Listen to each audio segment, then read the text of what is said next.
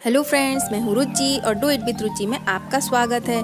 आज मैं आपको बताऊँगी कि साबूदाना के बड़ा कैसे बनते हैं, वो भी व्रत के लिए। तो फिर आइए बिना किसी देरी के स्टार्ट करते हैं।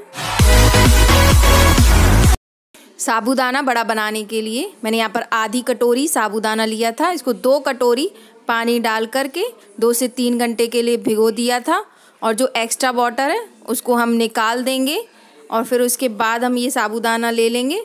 हम चेक कर लेंगे कि हमारा साबूदाना उंगली से दबाने से दब रहा है तो इस मैस हो रहा है अच्छे से, इसका मतलब साबूदाना हमारा फूल चुका है। यहाँ पर मैंने दो उबले हुए आलू लिए हैं, इनको मैंने ग्रेट कर लिया था। और यहाँ पर आधी कटोरी मूंगफली के दाने लिए थे रोस्टेड मूंगफली के दाने थे, इनको मैंने मिक्सी के जार में दरदरा पीस लिया था।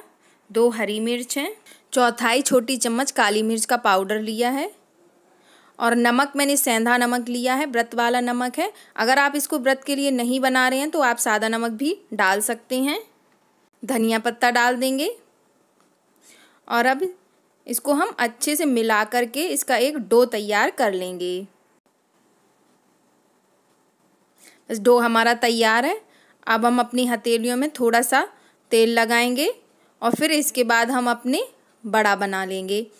बड़े का सेप आप अपने अनुसार दे सकते हैं। आपको छोटा चाहिए कि बड़ा चाहिए, उस हिसाब से आप इसका सेप दे सकते हैं।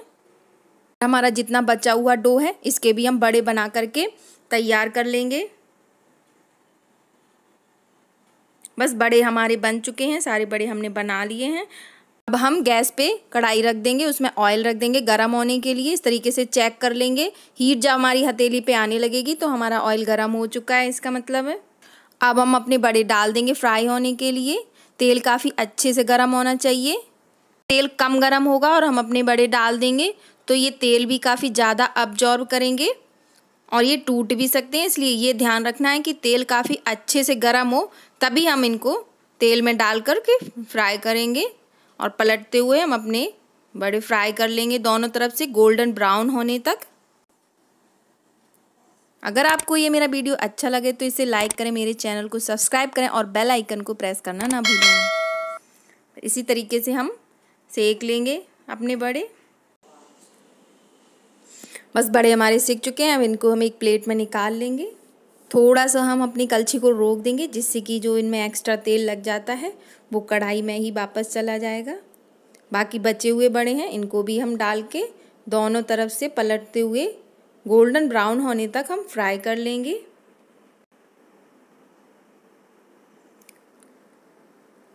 बड़े हमारे ये फ्राई हो चुके हैं, इनको एक प्लेट में निकाल लेंगे। आप देख सकते हैं, बड़े हमारे कितने बढ़िया क्रिस्पी बन कर के तैयार हुए हैं। तोड़ के दिखाती हूँ। ये अंदर से काफ़ी सॉफ्ट होते हैं, ऊपर से बहुत क्रिस्पी। आप एक बार इन्हें ज़रूर ट्राई करें।